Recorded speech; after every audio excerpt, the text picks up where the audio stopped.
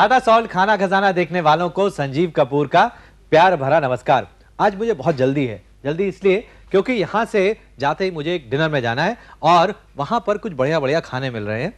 काफ़ी सारे दोस्त मिलकर कुछ खाने बना के लेके आ रहे हैं और मैं भी यहाँ से कुछ बना के लेके जाऊँगा, शायद ना भी लेके जाऊँ क्योंकि करीब 15-20 लोग आ रहे हैं 15-20 कपल्स आ रहे हैं और अलग अलग खाने बनाकर लेके आ रहे हैं। तो जल्दी से आप नोट कीजिए, क्योंकि मैं चाहता हूँ कि ये जो डिशेज हैं, आप ध्यान से देखें आपको समय उतना ही मिलेगा जितना हर हफ़्ते मिलता है। तो नोट कीजिए, पहली रेसिपी प्रोवेंसाल एग्स की। इसके लिए हमें चाहिए एक कप स्लाइस किया हुआ बैंगन, छह अंडे, एक कप टोमेटो कैनकसे एक चौथाई कप प्याज बारीक कटा हुआ, एक बड़ा चम्मच लहसुन बारीक कटा हुआ, नमक स्वादानुसार, दो बड़े चम्मच तेल, आधा कप ग्रेट किया हुआ चीज़ और एक चौथाई कप बारीक कटी हुई शिमला मिर्च प्रोवेंसाल एग्स बनाने के लिए सबसे पहले आप बैंगन ले लें, इसको हम काटेंगे। वैसे जो प्रोवेंसाल सॉस होती है, उसमें टमाटर का सबसे ज़्यादा महत्व होता है और यहाँ पर हमने टमाटर पहले से तैयार करके रखे हुए हैं। ये ब्लांच टमाटर हैं। खैर, पहले बैंगन को काट लेते हैं हम। एकदम पतले स्लाइसिस में इसे काट लें आप, इस तरह से। और इसके बाद इसको हम पकाना शुरू करेंगे। एक पैन में तेल गरम कर लें तेल गरम होने के बाद आप इसके अंदर डालें बारीक कटा हुआ लहसन। गार्लिक को हल्का सा सौते करने के बाद इसमें डालें बारीक कटा हुआ प्याज। और इसे भी हम थोड़ा सा सौते करेंगे, थोड़ा सॉफ्ट करेंगे। अब ये जो प्याज है, सॉफ्ट हो चुका है। इसके अंदर हम ये ब्रिंजल ऑबर्जीन बैंगन, जिस भी नाम से आप इसे जानते हैं, डालते हैं हम। और इसे हमने पकाना है इसके साथ में।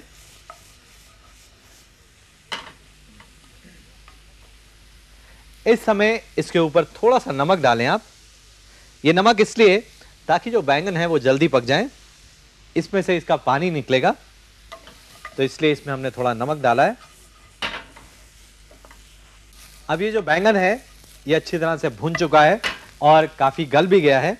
अब इसके अंदर हम डालेंगे ये ब्लांच टमेटोज ये जो टमाटर है, इसका छिलका निकाला है हमने, गर्म पानी के अंदर डाल के।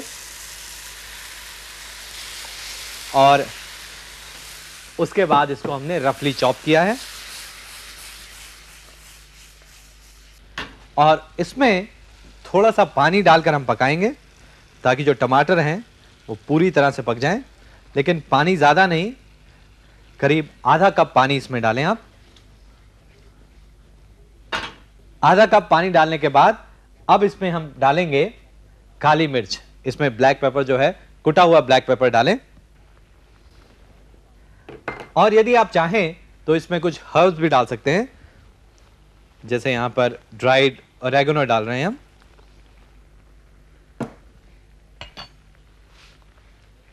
इसे मिक्स कर लें।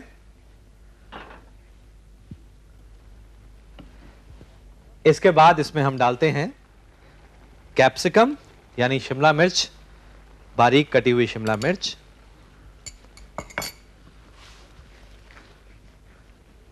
मिक्स कर लें इसे।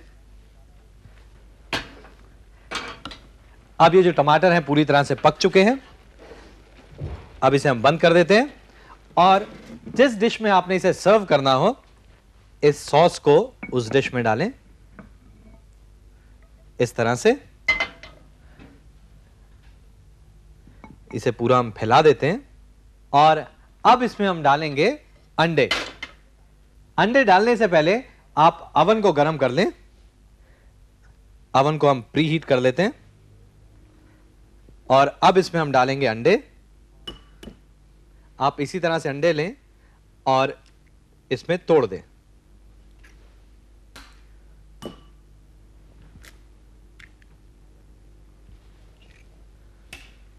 अगर कोई एग योग टूट जाता है तो घबराइए नहीं, क्योंकि ये इस तरह से पूरा नज़र नहीं आएँगे। और इसके बाद, इसके ऊपर आप डालें ग्रेटेड चीज़ वैसे आप चाहें तो इसको उबले हुए अंडे के साथ भी बना सकते हैं। जो सॉस हमने बनाई थी, उसके ऊपर आप उबले हुए अंडे स्लाइस करके रख सकते हैं और ऊपर से चीज़ डाल सकते हैं। इसके ऊपर थोड़ी कुटी हुई काली मिर्च और थोड़ी शिमला मिर्च बारीक कटी हुई और अब इसे हम अवन के अंदर पकाएँगे। 220 डिग्री के ऊपर इसे हम पकाएँगे करीब 12 से 15 मिनट तक, ताकि जो अंडे हैं वो पूरी तरह से पक जाएँ। आप चाहें तो इसको माइक्रोवेव अवन में भी पका सकते हैं। यदि आप ऐसा कर रहे हैं तो एक टूथ प्रिक से जो एग योक है, उसको थोड़ा सा पहले प्रिक कर लें। 12 से 15 मिनट बाद ये जो डिश है, इसमें चीज़ मेल्ट हो जाएगा, अंडे पक जाएँगे और नीचे जो सॉस है, उसका तो अपना ही मज़ा है। खैर, इसमें बहुत ज़्यादा समय नहीं लगेगा। मैं तैयारी करता हूँ दूसरी डिश की। जैसा मैंने आपको पहले बताया, मुझे जाना है डिनर पे तो जल्दी से एक नई डिश, एक बढ़िया सी डिश, जल्दी बनने वाली डिश। आप लीजिए ब्रेक, मैं तैयारी करता हूँ दूसरी डिश की। इसके लिए आप एक पैन में तेल लेकर इसमें बारीक कटा लहसुन डालकर सौते करें। इसके साथ इसमें बारीक कटी प्याज डालकर सौते करें। इसके बाद इसमें बैंगन के पतले स्लाइस काट कर डालें और इसे मिक्स करें। इसके बाद इसमें नमक डालकर इसे अच्छी तरह से भून लें। और अब इसमें टोमेटो कैनकसे डालकर इसे मिलाएँ और इसमें थोड़ा सा पानी डालकर इसे मिक्स करें। इसके बाद इसमें कुटी काली मिर्च और ड्राइड हर्ब डालकर मिलाएँ और अब इसमें बारीक कटी शिमला मिर्च डालकर मिलाएँ और इस सॉस को एक बेकिंग डिश में निकाल लें और इसके ऊपर अंडों को तोड़कर डालें। इसके बाद इसके ऊपर ग्रेट किया हुआ चीज़ कुटी काली मिर्च और बारीक कटी शिमला मिर्च डालकर इसे प्री हीट ओवन में 220 डिग्री पर करीब 15 मिनट तक पकाएँ और सर्व करें।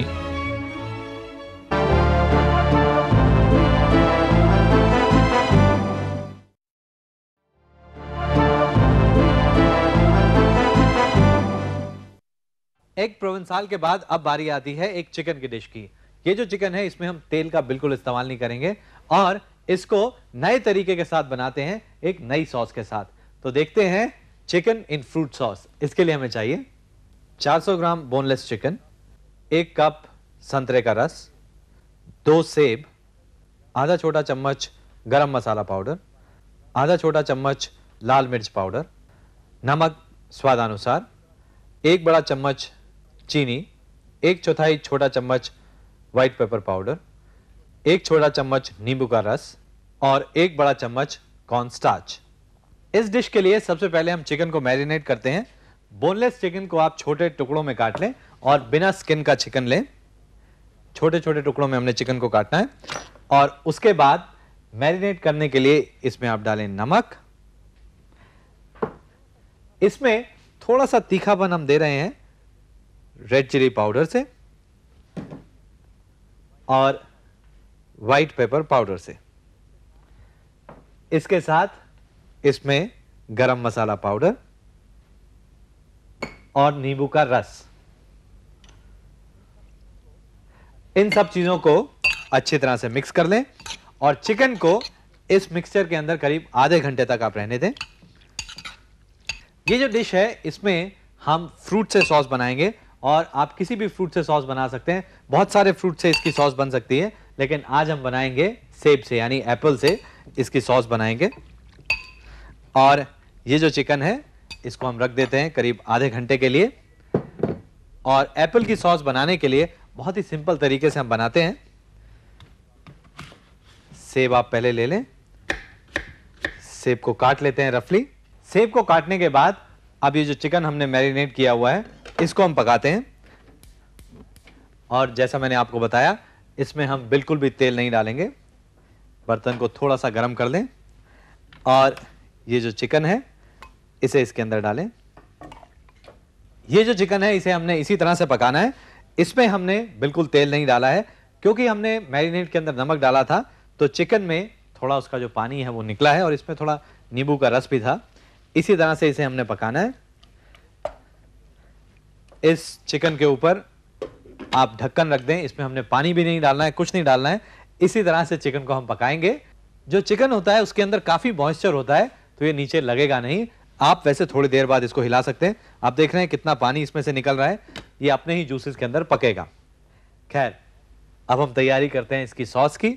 सॉस बनाने के लिए ये जो सेब है, इसे हम पीसेंगे, इसका प्यूरे करेंगे। और इसको पीसने के लिए इसमें हम पानी नहीं डालेंगे, बल्कि इसमें डालेंगे संतरे का रस।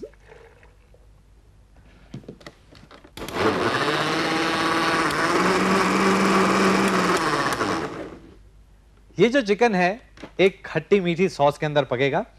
ये हमने जो सेब है, उसका प्यूरे बना लिया है और इसमें हमने पानी नहीं डाला था, उसकी जगह हमने डाला था संतरे का रस। जो ऑरेंज जूस है, हो सके तो आप फ्रेश इस्तेमाल करें, नहीं तो आप कैन भी इस्तेमाल कर सकते हैं।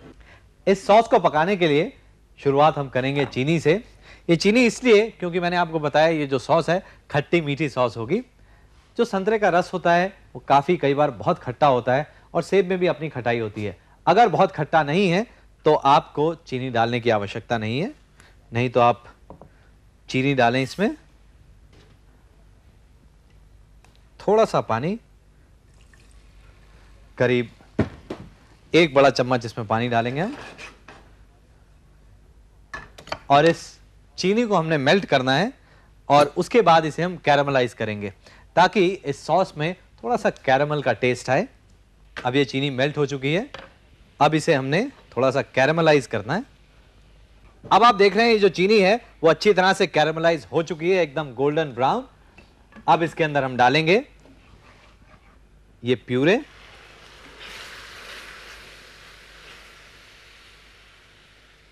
अब इसके अंदर हमने ये जो एप्पल का प्यूरे है, वो डाल दिया है। इसमें अभी भी मुझे कुछ पीसेस नज़र आ रहे हैं सेब के, उसे मैं निकाल लेता हूँ। आप चाहें तो इसे छान भी सकते हैं, ताकि ये जो बड़े पीसेस सेब के पूरी तरह से पिसे नहीं हैं, वो ना आए इसके अंदर। अब ये जो चिकन है, इसे भी हम चेक कर लेते हैं। देखिए, ये अपने ही जूसेस के अंदर चिकन पूरी तरह से पक चुका है। और इस चिकन को इस सॉस में हम डाल देते हैं।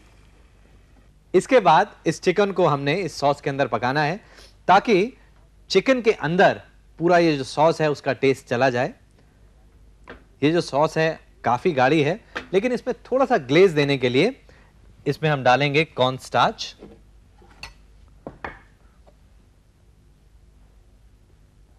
बहुत थोड़ी मात्रा में कॉर्न स्टार्च की ज़रूरत पड़ेगी। आपकी सॉस की कंसिस्टेंसी के ऊपर निर्भर करता है कि इसमें कितनी कॉर्न स्टार्च डाली जाए। करीब डेढ़ चम्मच छोटे कॉर्न स्टार्च है। अब ये सॉस उबल रही है। इसमें हम कॉर्न स्टार्च डाल देते हैं और इसे अच्छी तरह से मिक्स कर लें। मिक्स करने के बाद आप इस सॉस की जो सीजनिंग है, उसको टेस्ट कर लें। यदि इसमें नमक या मिर्च या काली मिर्च की कुछ ज़रूरत है तो उसके हिसाब से आप इसमें डालें। और इसके साथ आखिर में डालें थोड़ा सा नींबू का रस। इसे मिक्स करें। गैस बंद कर देते हैं अब हम। ये जो चिकन की डिश है, ये पूरी तरह से तैयार है। चिकन को हमने पहले अलग से पकाया था, बिना किसी तेल के, उसके बाद सॉस को हमने पकाया है और बाद में दोनों चीज़ों को इकट्ठे। देखिए कितनी सिंपल सी चीज़ है, लेकिन खाने में बहुत ही टेस्टी है। खट्टी मीठी डिश है, खा के देखिए, स्टीम्ड राइस के साथ या किसी सैफरन या किसी हर्ब राइस के साथ इसको खा के देखें। गर्मा गर्म चिकन को खाएँ, इसका मज़ा लें। मेरा तो दिल कर रहा है कि यही चिकन खूब ज़्यादा मात्रा में बनाकर जहाँ डिनर पे जा रहा हूँ, वहाँ बना के लेके जाऊँ। क्या इरादा है आपका? आप कहते हैं कि बनाऊँ? खैर, इतना समय नहीं है, क्योंकि वहाँ पर बहुत सारे लोग आ रहे हैं और बहुत सारी चीज़ें बना के लेके जा रहे हैं। खैर, जितनी बनी है, उतनी लेके जाता हूँ मैं। इसके लिए आप बोनलेस चिकन के पीसेस में नमक, लाल मिर्च पाउडर व्हाइट पेपर पाउडर गरम मसाला पाउडर और नींबू का रस डालकर मिलाएँ। और इसे करीब आधे घंटे के लिए रख दें। सॉस के लिए आप सेब को छीलकर, इसके पीसेस काटकर, इसे मिक्सी में डालें और इसमें संतरे का रस डालकर इसे पीस लें। और एक पैन में चीनी लें और इसमें थोड़ा सा पानी डालकर इसे पिघलाकर इसे कैरेमलाइज कर लें और इसके बाद इसमें सेब की प्यूरी को डालकर इसे मिक्स करें। इसके बाद मैरिनेटेड चिकन को एक पैन में डालकर इसके ऊपर ढक्कन लगाकर इसे पका लें और इसके बाद पके चिकन के पीसेस को सॉस में डालकर इसे पकाएँ और इसके बाद इसमें पानी में घुला कॉर्नस्टार्च डालकर इसे मिक्स करें। इसके बाद इसमें नमक और नींबू का रस डालकर मिलाएँ और सर्व करें।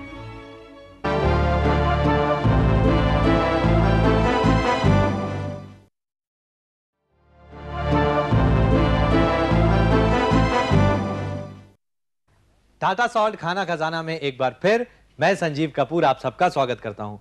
अभी तक हमने दो डिशेस देखी प्रोवेंसाल एग्स और उसके बाद एक चिकन की डिश जिसमें हमने बिल्कुल तेल का इस्तेमाल नहीं किया था। कौन सी डिश थी? जी हाँ चिकन इन फ्रूट सॉस अब देखते हैं कुछ मीठा जो फ्रूट से बना हो। इस फ्रूट से। Pair in ginger wine sauce इसके लिए हमें चाहिए चार बड़े साइज़ के पेयर दो बड़े चम्मच नींबू का रस, आधा कप चीनी एक चौथाई छोटा चम्मच सिनेमन पाउडर एक इंच बड़ा टुकड़ा अदरक का और दो कप वाइट वाइन इस डिश के लिए सबसे पहले आप पेयर ले लें और ये आप चूज़ इस तरह के करें जिसमें जो साइज़ है, छोटा ना हो, जितना बड़ा साइज़ आपको मिले, वैसा साइज़ आप लें और एकदम सॉफ्ट नहीं होना चाहिए, थोड़ा सा हार्ड होना चाहिए। और ये ऊपर की जो स्टेम है, वो भी इसके साथ लगी होनी चाहिए।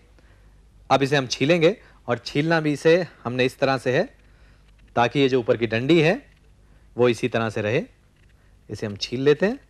छीलने के बाद इसके ऊपर हम नींबू का रस लगाएँगे। वो इसलिए ताकि इसका जो रंग है वो बदले नहीं। इसके ऊपर आप नींबू का रस लगा लें। अब ये हमने तैयारी कर ली है, इसको छील कर। अब बाकी तैयारी हम करते हैं। आप एक पैन ले लें और पैन में लें चीनी। पैन में चीनी लेने के बाद अब आप इसमें डालें ड्राई वाइट वाइन। और इसके साथ इसमें हम डालेंगे अदरक। ये अदरक के स्लाइसेस हैं। इसे इसके अंदर डाल दें। और इसके बाद ये जो पेयर्स हैं, इसको हम इसके अंदर रखेंगे। पेयर्स डालने के बाद इसमें थोड़ा सा और फ्लेवर हम देते हैं और ये फ्लेवर है सिनेमन पाउडर का। इसके बाद इसे मिक्स कर लें। और अब ढक्कन लगाकर इसको हमने पकाना है। जब आप इसको करीब आधे घंटे तक पका लें, उसके बाद इसे निकाल लें। अब देखिए जो नाशपाती है पेयर है, ये काफ़ी सॉफ्ट हो चुका है। देखिए कितने आराम से इसको आप काट सकते हैं। अब इसे आप एकदम आराम से उठाएँ और जिस प्लेट में आपने इसे सर्व करना है, इसे इस तरह से रखें। इसी तरह से ये जो पीस है, इसको भी हम रख लेते हैं। अब इसके बाद इसे हम बंद कर देते हैं और ये जो पानी है, इसको हम फेंकेंगे नहीं। इसे हम छान लेते हैं।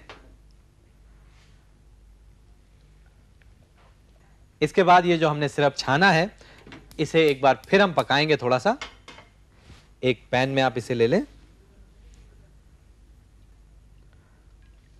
अब ये जो सिरप है, एक बार फिर इसको हम गर्म कर लेते हैं और अब इसे हम थोड़ा थिकन करेंगे। आप कॉर्न स्टार्च ले लें। पानी में घोल लेते हैं इसे हम। अच्छी तरह से मिक्स कर लेते हैं पहले। और अब इसे इसके अंदर डालें। मिक्स करें। कॉर्नफ्लावर डालने के बाद आप देखिए सॉस कितनी गाढ़ी हो गई है। और अब इस सॉस को, जिसमें काफ़ी मीठापन है, क्योंकि चीनी हमने इसमें डाली थी, और वाइन है इसके अंदर, अदरक का फ्लेवर है, सिनेमन का फ्लेवर है।